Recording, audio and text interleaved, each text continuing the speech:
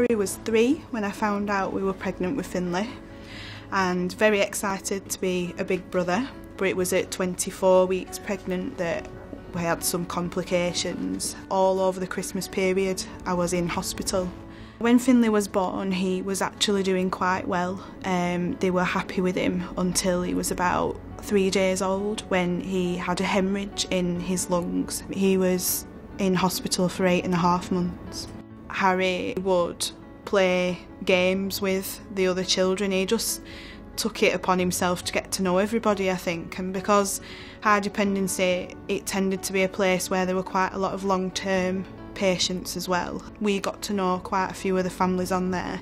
Harry made sure he knew everybody's name um, and would often go and play with them. Finley arrived home with quite a lot of equipment. Um, he arrived home with um, an oxygen concentrator, um, which is quite a large machine. It's probably about this big. Um, it's in our living room. Um, very noisy. Um, buttons that he could press and dials that he could mess with, um, but he hasn't. He understood very quickly that it was not to be touched. He calls his ventilator his energy boost machine because that's how we explained it to him that when Finley sleeps, the ventilator gives him extra energy then for the day after.